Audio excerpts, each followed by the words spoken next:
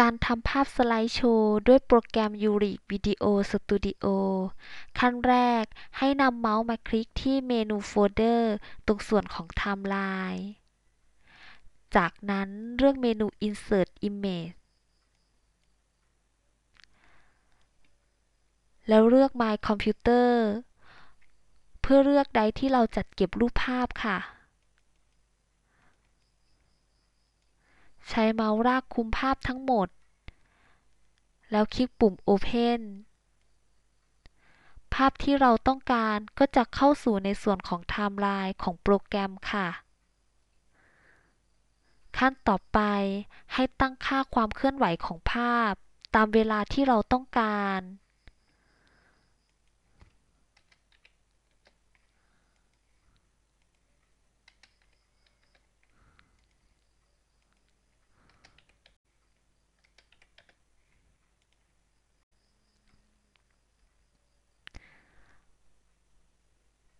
เมื่อตั้งค่าเวลาการเคลื่อนไหวของภาพได้แล้ว ในส่วนต่อไปนะคะ ให้นำเมาส์ไปคลิกที่เมนู Effect ค่ะ เพื่อเชื่อมต่อการเอฟเฟกของภาพแต่ละภาพ ลักษณะของเอฟเฟกมีหลายแบบนะคะ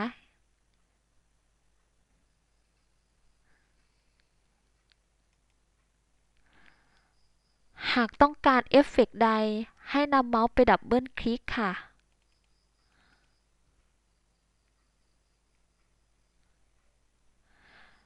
ในส่วนของเอฟเฟกต์ก็จะเข้ามาเชื่อมต่อระหว่างภาพ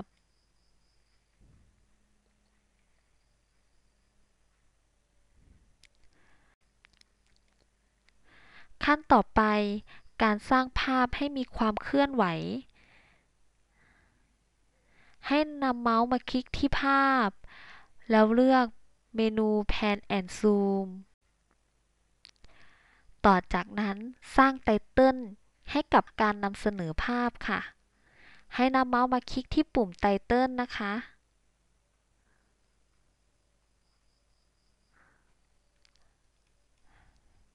แล้วเลือกลักษณะของไตเติลค่ะ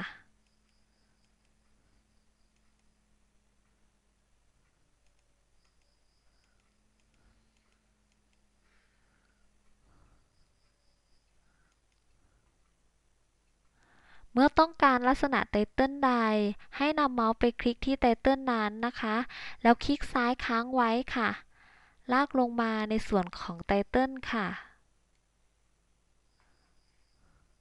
ต่อจากนั้นจัดไตเติลให้มีลักษณะที่ต้องการ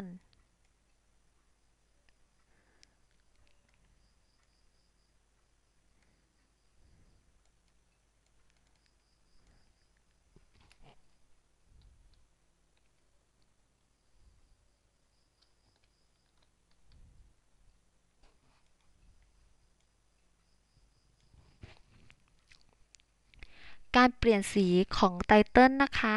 ให้นำเมาส์ไปคลิกที่ข้อความ แล้วเลือกสีค่ะ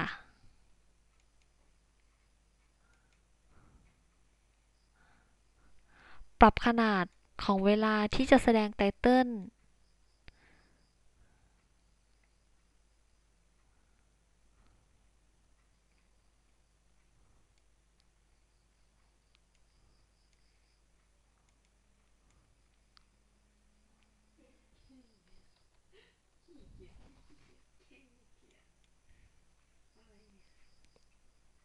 เมื่อต้องการเปลี่ยนข้อความ หรือ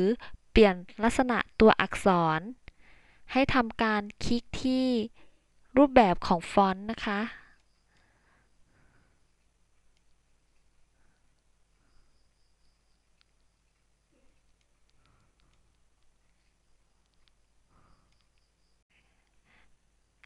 ขั้นตอนของการนำไฟล์เสียงเข้ามาใส่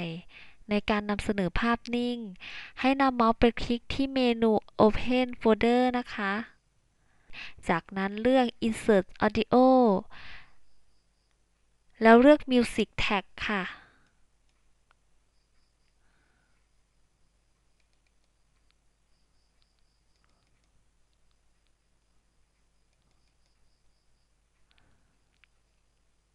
เลือกเสียงบรรเลงที่เราต้องการ แล้วกดปุ่ม Open ค่ะ จากนั้นทำการเล่นภาพนิ่งดูนะคะ ขั้นต่อไปคือการ Public ไฟล์ออกมานะคะ ให้เลือกที่เมนูแชร์ค่ะ แล้วเลือก Create Video File จากนั้นเลือกแบบ Custom ค่ะ เลือก drive ที่เราต้องการจัดเก็บไฟล์ข้อมูลที่เรา publish ออกมาค่ะ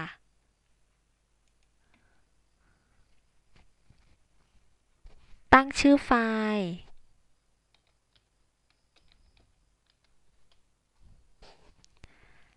แล้วคลิกเมนู save ค่ะ